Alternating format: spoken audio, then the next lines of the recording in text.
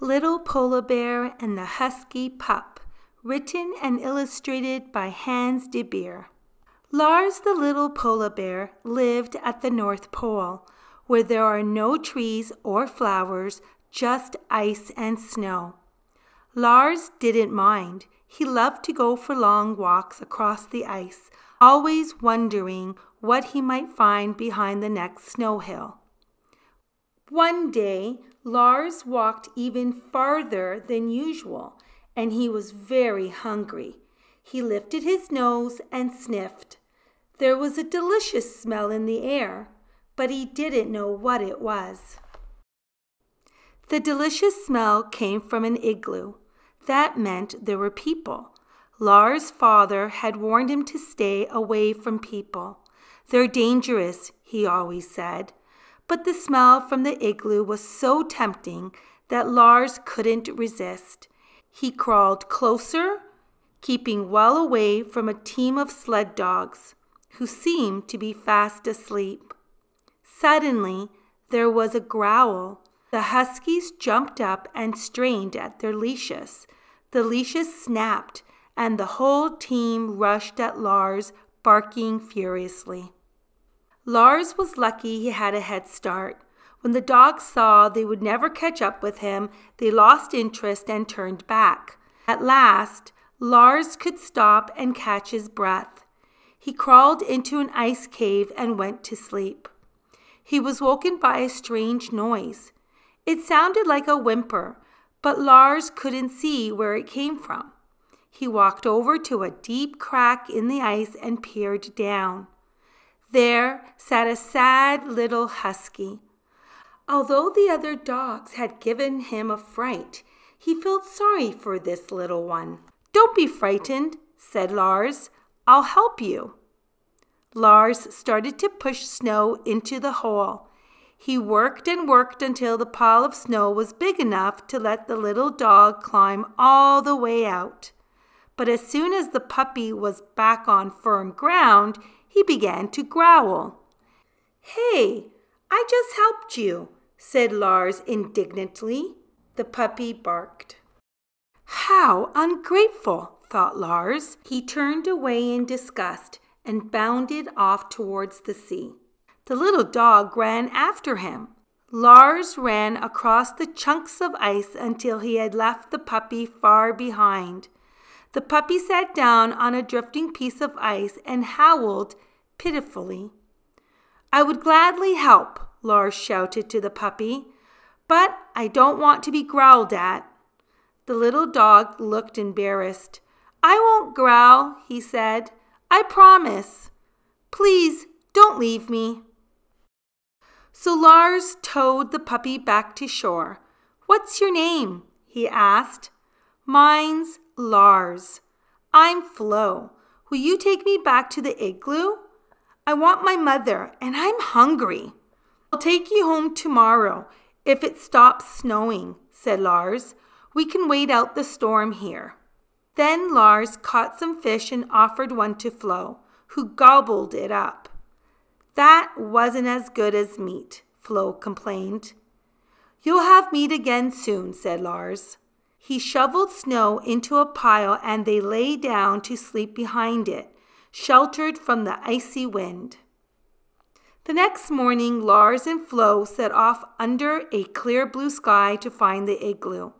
But when they got there, the dogs had gone, and snow had covered their tracks.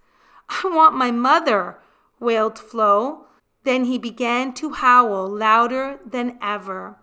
This time, Lars understood why. He tried to comfort the little dog. We'll find her, he said. Tell me which way you were heading. To the town by the sea, where lots of people live. Oh, yes, I know it, said Lars. Let's go.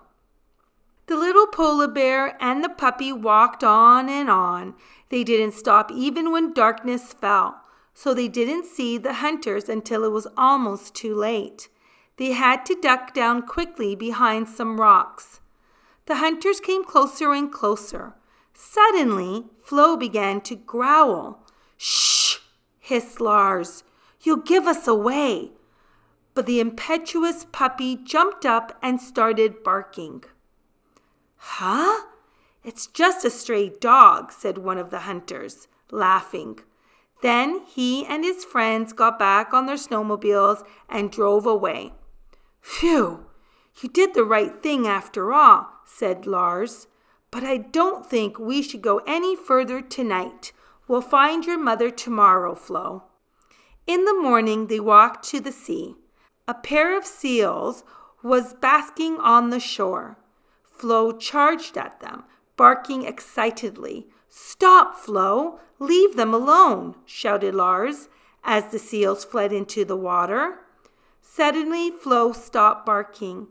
Lars, look at this, he yapped. He had found an old kayak. Kayaks belong to people, said Lars, looking anxious, and people are dangerous. He sniffed the kayak all over. Then he said, It's all right. Nobody has used this kayak for a long time. What a good find! Now we can travel twice as fast.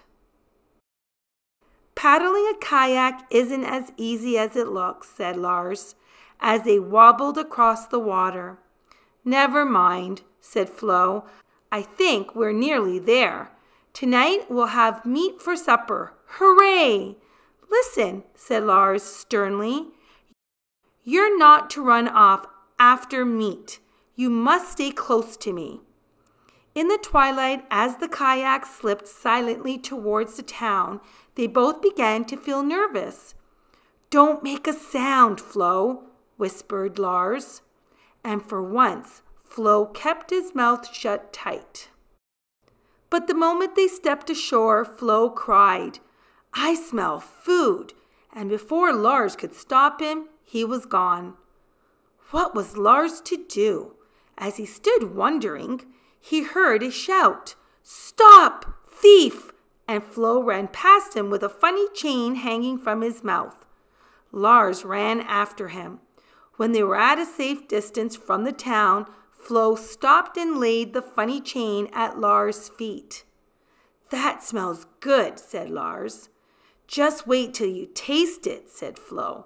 It's not like fish at all. But the more Floe ate, the sadder he seemed to be. Will I ever find my mother? he said mournfully.